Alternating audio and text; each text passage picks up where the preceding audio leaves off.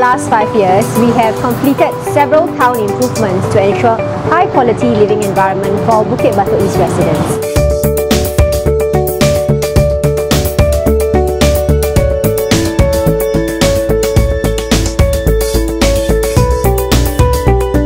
One of the improvements which has been particularly useful would be the linkways that promotes connectivity and ease of movement within the town. These linkways also serve as shelter from rain or shine for all our residents.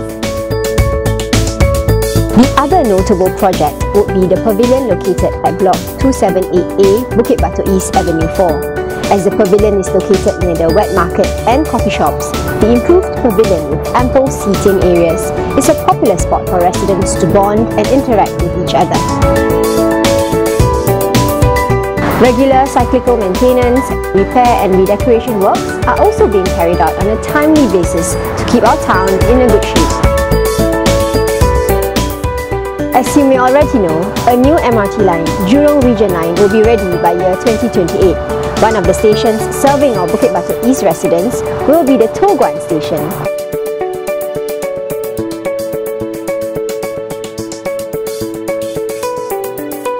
I'm looking forward to welcome more exciting changes with all our residents over the next five years. Let's work together to make Bukit Batok East a place we are proud to call home.